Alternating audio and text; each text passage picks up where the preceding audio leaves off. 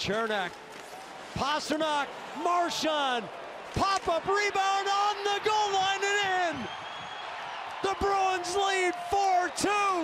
Bergeron with a stick in there. Good stick again by Pastrnak. Make the play towards Marchand. Get the shot off. It's stopped by, I believe it was off Vasilevskiy, and then up high. And as the goaltender tried to slide back into the net, he couldn't seal off Thank you.